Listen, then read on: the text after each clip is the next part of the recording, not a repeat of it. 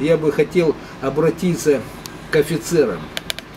Дорогие ребята, я говорю, ну неужели вы не видите, что вы убиваете, идет убивать своих братьев? Мы к вам не идем, вы приходите. Вам за это платят деньги. Раз.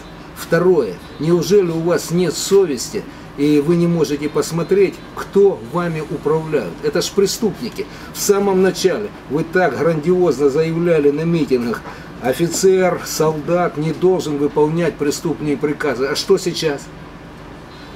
Вот мы смотрели утром репортаж, как матери хоронили десантников. Мы не радовались, я клянусь вам. Мы тоже плакали Скорбели, вместе с скорбели. вами. Но кто их туда послал? Почему эти десантники вместе с нами не начали штурмовать Верховный Совет?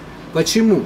Почему мы не можем установить действительно народную власть, выбрать новые лица, постараться научиться жить от чистого листа по совести? Неужели это трудно? Конечно, трудно. Потому что есть хозяева, которые платят деньги, потому что мы все дрожим, я скажу, что за Мерседесы, за ковры, за это. А что на тот свет кто-то возьмет эти Мерседесы, я говорю, ковры, золотые замки. Да вы придете, я говорю, голыми, как и ушли.